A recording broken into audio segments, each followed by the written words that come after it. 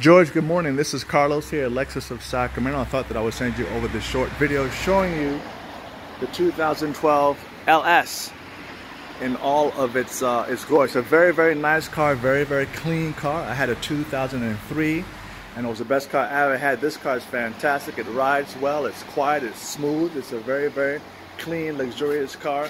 Has not been smoked in ever, ever, ever. The inside smells nice and clean and glorious. And it looks great. The leather has been treated very, very nicely. It's not worn, no rips, no tears anywhere at all. Looks like a very nice, clean car. And whoever had it, obviously, liked the car and kept it in very, very good condition.